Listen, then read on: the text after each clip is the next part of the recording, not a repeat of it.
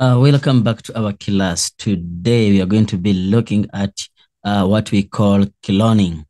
Yeah, we have seen that um, this has been a problem to many grade 12s, uh, how to explain the process of cloning. And sometimes when they bring it in exam, a student find difficult uh, in, in, in answering questions. So today we're going to look at the process of cloning, basically uh, cloning of the dolly sheep, and then some of the questions which can be asked about uh, this uh, content. And then we are going to try to answer those questions and also guide you how to answer if it comes to uh, your paper or if it comes in the exams. Uh, don't forget that cloning can be uh, medicinal. Uh, it can be cloning basically for medicine. For medicine, uh, for example, production of insulin, or um, cloning of uh, organisms. Yes. I'm not going to go into the types of cloning whereby you talk about the therapeutic uh, cloning and then uh, meaning that trying to clone just a part or a tissue, a stem cell, which is going to replace uh, the damaged tissue or organ. And then the other one could be cloning the, the whole organism. But in this case, it can be either natural cloning or can be uh, artificial cloning. Uh, in this case, uh, we, we, we, find that um, we use the same type of genome to uh, multiply or to duplicate or to produce identical organisms. Yes. So let's look at uh, what you call cloning. So we are going to explain this process. Um, in this process, you need to have two sheep.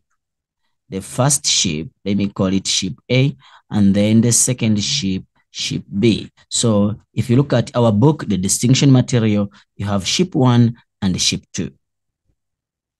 So Sheep A, for example, if I want to produce the characteristics of sheep B, and I don't want to produce the characteristics of sheep A. So it means that you have to maintain the DNA of sheep B. All right, let's start. So what do you need to do is, what do you need to do? You need to do the following. For sheep A, yes, uh, it must be, you, you must get a cell from sheep A. This is a cell. And then you must also get uh, sheep B, a cell from sheep B. This is also a cell, okay? Cell, cell from sheep A and cell from sheep B. But these cells are a little bit different. Remember that a cell a full cell is supposed to have all the content, including the nucleus, and also here. But where do you get these cells? Here in sheep B, because I want the characteristics of sheep B, I'm going to get what you call uh, a somatic cell. Somatic cell. Why do we need a somatic cell? We'll explain that. But somatic cell means a body cell. A body cell. Don't forget that somatic cells, they have what you call 2N. Yes. So in, in, in this case, for example, if the sheep has 62, um, it has 62 maybe uh, chromosomes, then automatically this is going to be 62. If it is one N, it's going to be, uh, it's going to be uh, 30, 31 chromosomes. So uh, in this case, if, if, if you look at a sheep A, this one is going to be uh, a gamete, a gamete. In this case, it must be an ovum, meaning that uh, the first sheep, it, sheep A must be a female sheep because you can't get an ovum from a male sheep. And sheep B, because I want the characteristics of sheep B, doesn't matter whether is a male uh, or a female. Yes, as long as I want those characteristics. So it means that now I need um the ovum. This this this is an ovum. So the next step is uh now I need I've got this ovum and then I've got don't forget that ovums are 1n. They are haploids. While these ones are diploids because it's a somatic cell. So I have these two cells. I've explained uh, which type of cells you are supposed to get from the organism. Yes. So because I want the characteristics of ship B, of this ship, therefore, I'm gonna keep the nucleus. Why? Because the nucleus contains the genetic material. And then the shell or the out, out the casing of this ovum, so not of ovum, the casing of this cell, I'm gonna throw it out, meaning that I'm gonna throw this uh, out. Yes. So I throw it out, but I keep the nucleus. Why? Because I need the characteristics of ship B. And there is no way I can get these characteristics except when I go to the nucleus where the genetic material is found. Then I go to ship A. Ship A, uh, I want the, the, I don't want the characteristics of ship A. So what do I want? Here, because I don't want the characteristics of ship A, I will throw the nucleus out and then I will keep the casing. So meaning that now this one becomes an empty, empty, uh, uh, uh empty uh, ovum, empty ovum. Remember, this is an ovum. Yes. So it becomes empty ovum. I always ask my students that if I have uh, water. I put it in the bottle of uh, Johnnie Walker. And then someone finds you drinking water from Johnnie Walker bottle. What will that person say? Definitely, that person will say that you are drinking Johnnie Walker or Savanna, whatever. If I have Johnnie Walker I put it in the cup where you drink tea from. Someone comes in, finds you drinking that John Walker in a cup. What that person is going to say? That person, I don't think the person who say that you're drinking John Walker.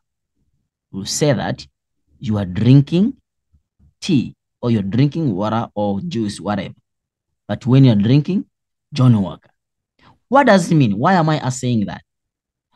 What you appear to be outside is what we take. So, what happens is this is an ovum, a casing of the ovum or empty ovum. And this is the nucleus. Don't forget that this is 2N. So, these two must combine. So, meaning that I'll bring this empty ovum and I'll bring this this case, uh, this nucleus. Then I'll put it here using a mild electric shock. We use a mild, I can ask you which method is M. It's called a mild electric shock. So now what happens is um, if I have this here, uh, we say that now this is a casing of the ovum. If someone comes in and asks you, what is this? We're going to say it is an ovum. Why? Because the casing, the casing is for ovum. But don't forget that the nucleus we used was 2N. When does ovum looks like that? It might not necessarily be ovum, but when does it have this situation? Let's go back to reproduction, just a little. And then we say that Remember, a sperm, yes, has a nucleus and the ovum has a nucleus. During the process of fertilization, the nucleus of the sperm will enter the nucleus of the, will enter the ovum and they fuse. They form, the casing is what? Is ovum. You see? The casing is ovum, but what is in the nucleus here is, is a mixture of the sperm and ovum. But what's the number of the the, the chromosomes is 2n. So when you go back here, we shall see that this structure looks like this. And how do we call this structure? This structure, we call it, we call it a zygote, a zygote. meaning that what we have formed here will look like a zygote. And the moment that zygote, zygote-like structure forms, then it will undergo a process called mitosis. So this zygote, uh, the normal zygote will undergo uh, mitosis to form a ball of cells. Yes, where embryo is formed. And then exactly what happens here is the same uh, process. So here, this is going to undergo a process called mito mitosis. And then a ball of cells is formed or embryo is what? Is formed. So the moment the embryo is formed, what happens now? What is the next step? Um, okay, now I've formed the embryo here. I've formed the, embryo here with a ball of cells. Don't forget that you form a, a, a, a ball of cell, uh, cells called the uh, uh, morula, hollow ball of cells called blastula, all that we are skipping all that uh, uh, information. So now you have the embryo here. So what happens before you form the embryo? These balls, these balls or ball of cells, we get them and then we insert them in another ship, ship C. How do we call this ship? Because I have to be with a lot of ship C. How do you call these ships? Ne? We call, uh, don't forget that a ship is a ship, uh, whether it's plural or what, uh, is a ship. So I'm talking about different types of ship. Okay, so you, you form these different types of what? Ship, but of the same kind. You know? We call them um, uh, for uh, surrogate, surrogate what? Surrogate uh, ship. So this ship, I'll bring the embryo here. I'll put it there. I'll bring this one. I'll put it there. I'll bring this one. Put it there. Bring this one. Because I'm using the same genome, the same genetic composition, yes, then automatically each ship here is going to produce the same kind of ship. Meaning that they're to have, they're to look alike. They're to be like uh, twins. Don't forget that twins are two. Yeah. Or triplets but they're gonna look alike, but you're gonna produce thousands and thousands and thousands of these organisms. So what does it mean? It means that now this shape has formed uh, the one which has formed. So let me say that this sheep is gonna give birth to sheep D. You see? So sheep D because I used the genetic composition of sheep B, yes, sheep D is going to look like sheep B. Why? Because I kept the DNA of sheep D, of sheep B, and I threw away the genetic composition of sheep A so that I remain with the casing of the ovum. So that I when I combine with this and this, I form a zygote-like structure. Yeah, it's a zygote-like structure. Yes. They can even ask a question. Why is this one not regarded as ovum? Because we use the, the casing of the ovum. Don't forget that the ovum or gamete are always haploid, but this is a diploid. Yeah, so now when you go back to our distinction material book, yes, is here uh, this is the process which I was trying to explain, that cloning of uh, Dolly sheep. Remember Dolly she uh, Dolly is is is a is a is, is a singer, I think in, in America. They named this after her.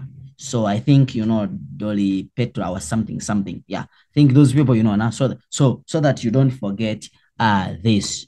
Anyway, let's start. You have sheep one and sheep two. Sheep one is you get a cell from sheep one. Yes, an adult sheep one and sheep two. You get a cell from sheep one. Yes, and then you also get another cell from sheep two. But which kind of cell do you get from sheep one? Somatic. This must be a somatic. Somatic cell, meaning that it's 2N you get uh the, the, the, the, the, the another cell from sheep two, but this is an ovum, meaning that is a gamete. Yes. Don't forget that gametes are 1n. So what happens? You remove the nucleus of sheep 1. It means that if you remove the nucleus of sheep 1 and you maintain it and you throw this casing of the cell, then automatically, since you have kept the genetic composition of sheep 1, it means that you want to produce a sheep which looks like sheep 1. Then you have the um, sheep 2 you got the nucleus, you remove the nucleus, you throw the nucleus away, and you go with the casing. As I explained to you about that scenario of Johnnie Walker and Savanna drinking it in a cup, someone won't uh, think that this is Savanna in a cup. Say that you're drinking water. And then if you're drinking water in, in a bottle of Savanna or John Walker, we shall say that, no, man, you are drinking John Walker. Yes. So the casing will determine. So you guys, take note the way how hmm. you behave. So the way how you behave will determine how we take you up. We might not see what you do behind or the scene. What no, what we see is what we take. All right, that's how people are. All right, now here you have this nucleus and this ovum. You combine them using a mild electric shock as I explained that, they will ask you about this method. How do you call this method? We say that the method is, is, is using is electric shock, using a mild electric shock. So now, now after that, you form now this structure. This is not an ovum. This is not a gamete. Why? Because this nucleus is 2n. Yes, so it means that it looks like, looks like a zygote. Why? Because it is 2n and the casing is the ovum. As I explained it here, that it, it will look like an ovum. Will look like an ovum because of the casing, but because of the genetic composition, then it's going to look like uh, uh, uh, uh, a, a zygote. Now we put this, yes, into other uh, uh, into other ships, different ship, different, many of them, many of these ship. Yeah. So, so that now, um, this surrogate ship, they will help us to develop the baby. And then now, how is this ship looking like? It will look like the ship which gave it the genetic composition. Hence, this ship is exactly the same as the sheep. As we say that this sheep, why does it look like that? Because it gave, it was given, the, the, the genetic composition of this sheep was used. It's like someone who goes to the shop, does the shop, yes, you buy a sperm, yes, you put it into another person, for example, during the, the, the proper process, that person is not the owner of the kid. No. This one got the sperm and the other brought the ovum. And then now they combine, then they put it into another, another person to carry this baby. Sometimes you call them the borrow babies. The person who is growing this baby is not the owner of the baby. The owner of the baby is the owner of the ovum and the owner of the sperm. But the baby will look like the one who gave the genetic composition. So that's how we do clone this so-called dolly sheep. Let's go and look at some of the questions concerning about this dolly sheep.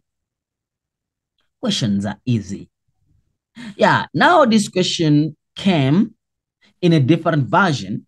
In this case, they're saying that this is not a sheep.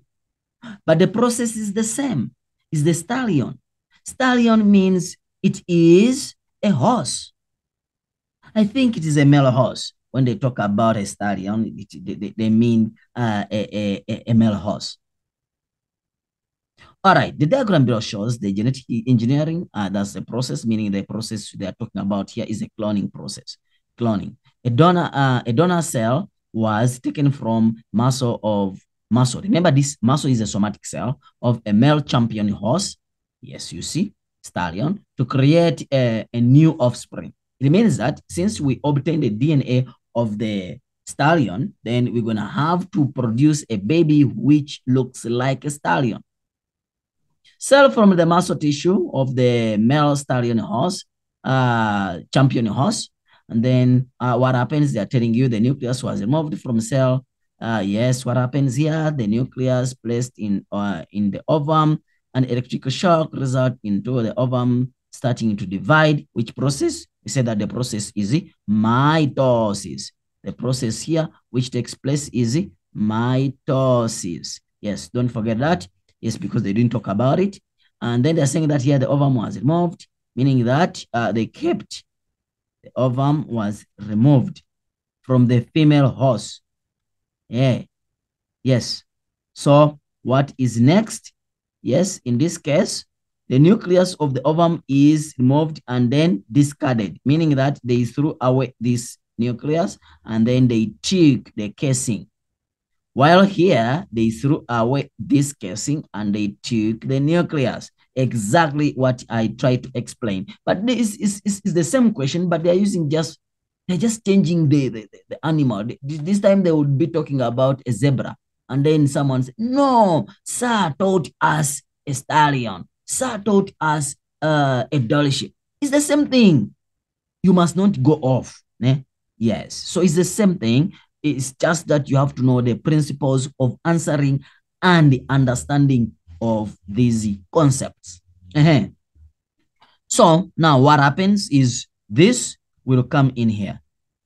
Yes. And then when they combine together, remember, they have talked about the method they use with a small or a mild electric shock. And then this structure C is formed. Remember, I told you that this is a zygote-like structure. Eh? In this case, we can say that it is a, it is a, it is a zygote, but it's not uh, the actual zygote that side, but it looks like a zygote because it has all the characteristics of zygote. So the ovum divides. Ovum divides normally. They called it an ovum, but in actual sense, it's not ovum. Why? Because of the genetic composition. Maybe they're calling it ovum because the outer or the outline or the casing is that one of the ovum, as I explained to you using the other example of Johnnie Walker. then they're saying that the embryo placed in the uterus of the adult female horse. So now this the embryo is now placed into the adult female horse. What happens? Which we say that in this case, we call it uh, a surrogate mother. And then now it starts to develop. It, it forms the, the structure of uh, embryo develops. So it is put into this. And then now it develops into another stallion. Why stallion? Because we used the, the DNA of this stallion. Question. All right. Name the genetic engineering process shown in the diagram above. How do you call this? Cloning. Simple. Process named uh, produced ovum B. Which process produced ovum B? So the process by which ovum are produced, we call them oogenesis. But don't forget that they undergo what we call meiosis, and then oogenesis is being produced as uh, uh, and, and ovum is being produced. So the process is oogenesis or meiosis because they are not specific. Yes. So uh, they're saying that why is the donor cell extracted from the champion horse? Why is the donor cell? Why did we extract it from the champion? Because we want to produce a sheep which looks like the champion horse. Yes. We want to produce a sheep which looks like a champion horse, meaning that it has the characteristics of the champion horse. Uh -huh. The next question is the explain why only uh they're saying that explain why only the nucleus of the donor cell is used. Why? Why do we uh use the nucleus of the donor cell. If you come here, the donor cell is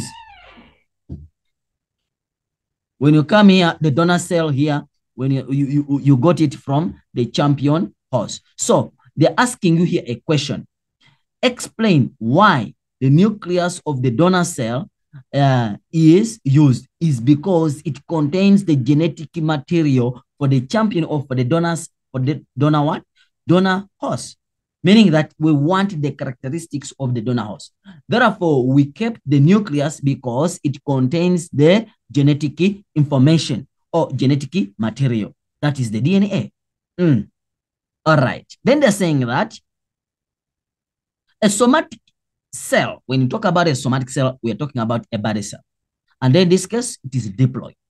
In horse, contains 64. Uh, many people, they take this uh, uh, for granted. Some of them, they don't know. Some of them, they always think that all chromosomes in an individual is, is, is, is what? Is, is 46. It's not. That's a human. A horse has 64. Drosophila melanogaster has 8. So now, so you have to know exactly what are they saying in the question. Don't memorize. Don't memorize. Your head will become big. So don't memorize. You're supposed to use the information they give you in the exam. So how many chromosomes will there be in a structure, structure A. Uh, let's go to the structure A. Structure A is the, yes, the nucleus. Check. Nucleus of the horse. But remember, this is a somatic cell because it's a muscle cell. Don't forget that here I explained it and I said that this is 2N diploid. I've explained it. Yes. Yes. You see, it's a diploid meaning that since it is a diploid and the, the, the, the number of cells they get, mm, mm, the number of chromosomes they gave here is 64. So the diploid is going to be 64 and the haploid is going to be 32. 32. Yes. So it means that here the chromosome is going to be 64. And then ovum B, let's go and see ovum B. Where is ovum B? Is here. Ovum B is gonna be uh, the half of 64 because it's haploid. So it's to be 32. Muscle cell in organism D. The moment they say, the moment they say muscle cell, automatically they are talking about somatic cell. So the answer here is going to be 64. Even if I don't check the organism, but the moment they say muscle, those are somatic cells. As long as they don't talk about the ovum and the sperm, the rest 64. Oh, the rest are, are diploid. Let's go to mm, check. They're talking about the surrogate uh, horse. Last question. They're saying that explain why the ovum labeled C cannot be considered a gamete. Why ovum? Why is it? Yes. Why even why do they even call it ovum? Actually, it's wrong. Why is it not called a gamete? They are saying, why ovum? The moment they say ovum, it means it's a gamete. So it means that that's a, they, they, were supposed to modify that question and looks better. Ne? Yes. Anyway, let's continue based on what they said. Why is this structure C Yes, I think that would have been the better, the better language. Ne? Why is this structure C not considered a gamete? Yeah, that one would have been a better language for scientists to understand. Why is structure C not considered a what? A gamete. Why is structure C? Why? Because, yes, it's because it contains genetic material is 2N. Ovum cannot be with the 2N. Remember, these are haploids. So it means that since this nucleus is uh, diploid to N, therefore it cannot be considered an uh, a gamete. Hence, I told you that this looks like a zygote. Hence, I called it a zygote-like structure, not ovum. Yes, it's a zygote-like eh, structure. Guys, don't forget that this is a distinction material book. You cannot find any question in any question paper which cannot be answered by this book. use this book from the links below. You'll be able to get a distinction, guaranteed. Yes. And these different colors means a marking point. So the next time we will come and look at uh, the different uh, questions. Let me check here. Let me check here for you. And I see something here. Is there any other question? If you have any question uh, you are struggling with, let me know in the comment section below. And, or um, let me know in on the WhatsApp. I will be able to help when I get time. Bless yes. you. So thank you very much. I'll see you again. Uh, M Saidi as usual. Good